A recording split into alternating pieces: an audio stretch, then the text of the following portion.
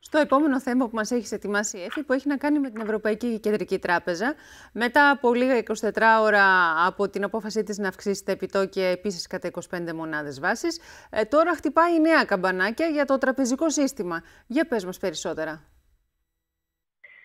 Οι αρμόδιες λοιπόν εποπτικές αρχές της Ευρωπαϊκής Κεντρικής Τράπεζας χτυπούν τον κόδωνα του κινδύνου ότι τα τελικά αποτελέσματα των stress test ήδη οι ευρωπαϊκές τράπεζες πέρασαν τον πρώτο γύρο των φετινών stress test και τον πέρασαν σχετικά ανώδυνα.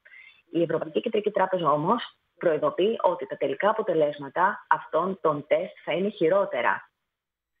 Όμως πολλοί τραπεζικοί κύκλοι διαφωνούν με αυτό και υποστηρίζουν ότι οι εποπτικές αρχές επιζητούν χειρότερα αποτελέσματα προκειμένου να, να, να πιέσουν τον τραπεζικό κλάδο να, ε, ε, ε, να γίνουν πιο αυστηρές οι προδιαγραφές για την κεφαλαιακή επάρκεια.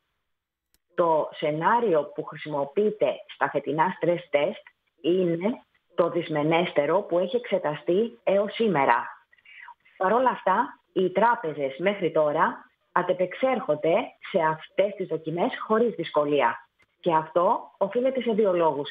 Και στην αύξηση της κερδοφορίας τους από τα υψηλά επιτόκια και λόγω των χαμηλών προβλέψεων για τα κόκκινα δάνεια. Ωστόσο, οι ρυθμιστικές αρχές, οι εποπτικές αρχές διερωτώνται εάν τα stress test διενεργώνται στην κατάλληλη περίοδο και επίσης εάν είναι αξιόπιστα.